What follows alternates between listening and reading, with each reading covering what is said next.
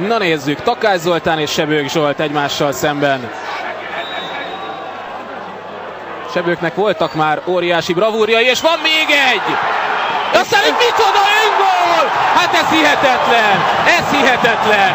Gyurica! Ez nem igaz!